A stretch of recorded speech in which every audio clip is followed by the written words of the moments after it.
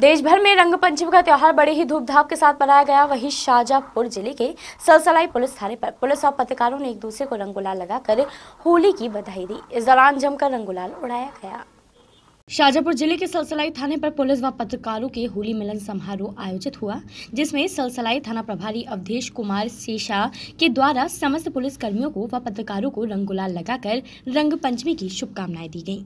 इस अवसर पर थाना प्रभारी अवधेश कुमार शेषा ने होली के गीत गाकर कार्यक्रम में समा बाँध दिया वहीं कार्यक्रम में उपस्थित पत्रकार किशोर नाथ राजगुरु, राजेंद्र खत्री, आनंद मेवाड़ा, देवी सिंह मेवाड़ा सहित पुलिस स्टाफ व पत्रकार मौजूद रहे।